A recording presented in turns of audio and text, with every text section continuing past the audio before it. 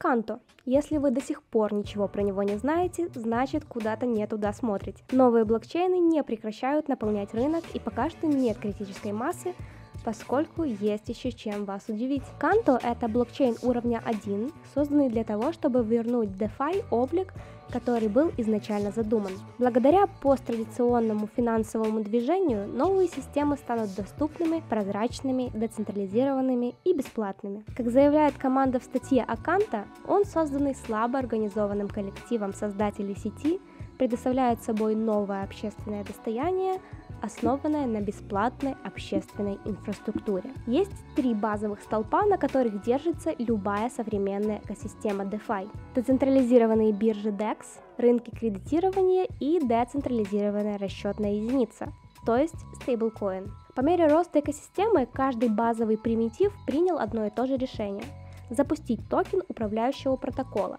ценность которого заключается в его способности получать доход от будущих пользователей. Очень интересный пример привел проект, когда сравнивал свой подход к устоявшимся. Дело в том, что Канта хочет сделать всю эту инфраструктуру бесплатной или, правильно сказать, общедоступной. Если старые типы инфраструктур это платная почасовая парковка с оплатой ренты, то альтернатива Канта – это бесплатная парковка на городской улице. Давайте разберем, что это значит на практике. Примеру, для децентрализированной биржи Канта протокол не может быть обновлен и всегда останется неуправляемым. Он будет работать на Канта вечно, без возможности запуска токена или введения дополнительных комиссий с течением времени. А это значит, никто и никак не сможет изменить установку общедоступности в пользу прибыли. Запущенный в августе 2022 года Канта – это относительно новый блокчейн на основе Космос, совместный с виртуальной машиной Ethereum MVM, а значит для взаимодействия с блокчейном подойдет любой кошелек, совместимый с Ethereum. Но, конечно, разработчиков не оставили без хлеба.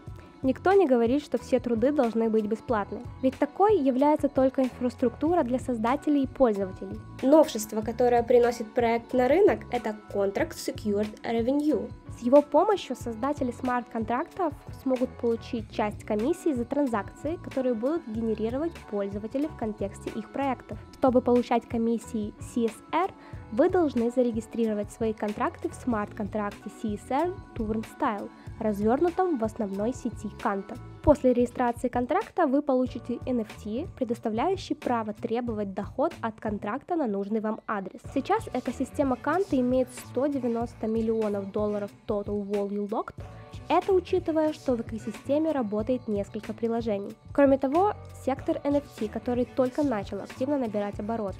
Его статистика объема торговли NFT начала соответствовать той, что наблюдается на некоторых торговых площадках NFT на основе Ethereum. Давайте перейдем на сайт Канта. На сайте нас встречают 5 разделов, которые так и пронумерованы. Most, Staking, LP интерфейс, лендинг и управление. Вы можете перевести USDC, USDT или VTH из Ethereum в блокчейн Канта, используя систему двойного моста в первом пункте. Для этого нужно подключить кошелек, к примеру, MetaMask. Сделав это, вы увидите уведомление по центру сверху, что, пожалуйста, сгенерируйте открытый ключ перед соединением активов.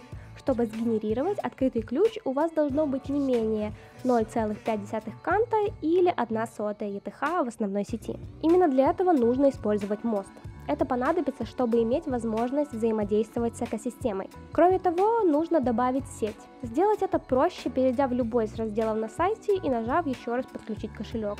Затем сайт сам спросит подтверждение о смене сети и просто переключит вас. В экосистеме есть удобная DEX. Slingshot – это децентрализированная биржа, которая поддерживает сделки на L1 и L2, включая Arbitrum, BNB Chain и Kanta.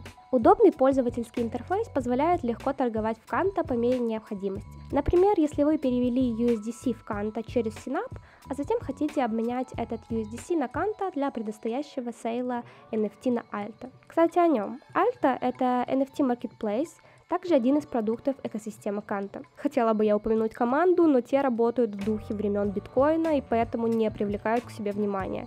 Сохраняя анонимность в лучших традициях децентрализации. И вообще цели, что они ставят, их подход к DAO пропитан аутентичностью децентрализации. У проекта даже нет зарегистрированной компании ни в одной юрисдикции, нет утвержденного логотипа и вторичных аспектов, с которыми приходят на рынок другие проекты. Токен проекта уже запущен, и поэтому перейдем на CoinMarketCap, чтобы посмотреть ключевые показатели. Total Supply заявлен на CoinMarketCap в размере 1 миллиарда токенов. В циркуляции уже 423 миллиона токенов. Market Cap 207 миллионов долларов. Сейчас токен стоит 48 центов.